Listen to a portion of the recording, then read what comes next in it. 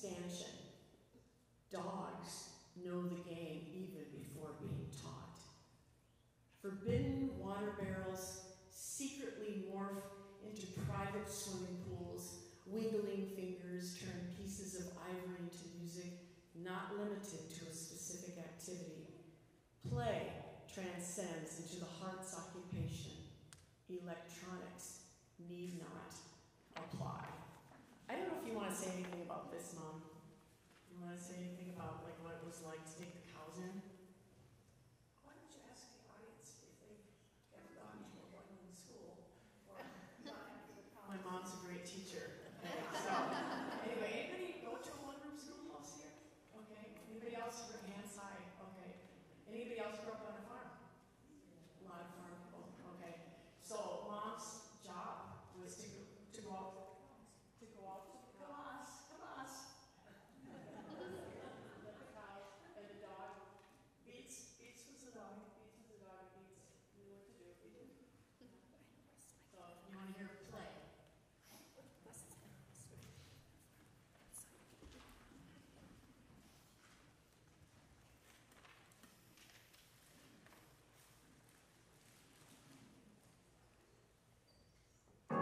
Days of winter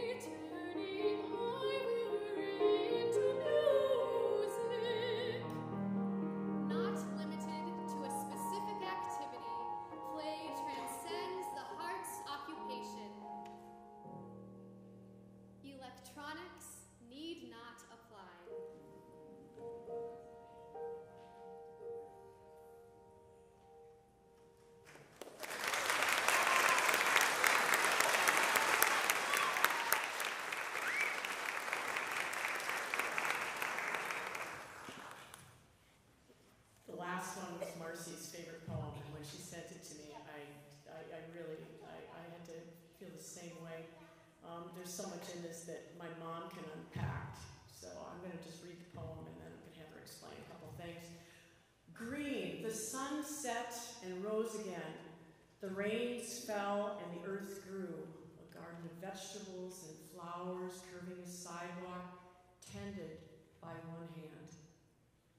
This was the dirt that formed the children of curiosity and will, diligence and music, where harmonies of variegated green grew strong in confidence as learning sprouted in the schoolgirl's fertile mind. Once the education denied to her mother was in full blossom, she strode to mountain ridges with nothing but tears and a trunk heavy with musical books. The earth circled and circled again until the land called her home to new classrooms, new adventures. Still, the sun set and rose again. The rains fell, and with the earth she grew accomplished for years, grounded in faith and family. Love that poem. So there's some stuff in it that um, that one hand that mom's gonna have to explain. You could explain that, Mary. Well, the one hand refers to my grandfather, who came over from France, and they were working in the woods, and there was a sawing accident, and he lost his hand.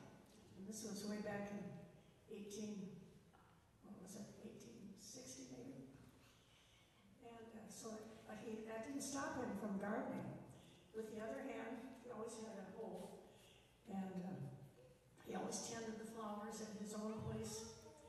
And, and also, after he moved from the farm to town, the town of Hayfield, Minnesota, if you've ever heard of that, um, they, they used to say that he'd walk to the post office with the hoe in his hand and he'd, he'd hoe everybody's garden on the way.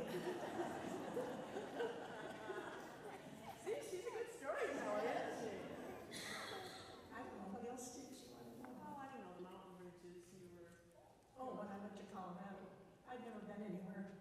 So I thought it would be really exciting to go out to Colorado to teach. And uh, of course, the minute I left home, I got homesick. And I, I, I cried all the way out there. I rode the train to Oak Creek, Colorado, and I cried all the way. And it took a while to get used to it. But I stayed.